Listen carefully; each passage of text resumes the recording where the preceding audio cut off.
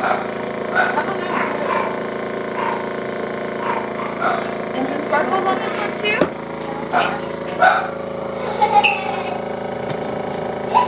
There you go. You're all done. Be careful with them, okay? They're wet. They take like three to five minutes to dry.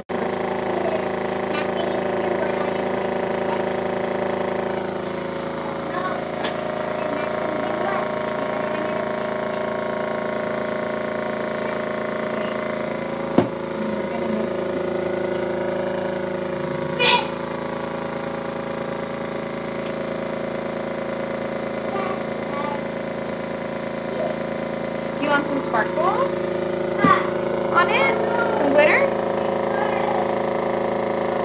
There you go. And where do you want to put Minnie Mouse?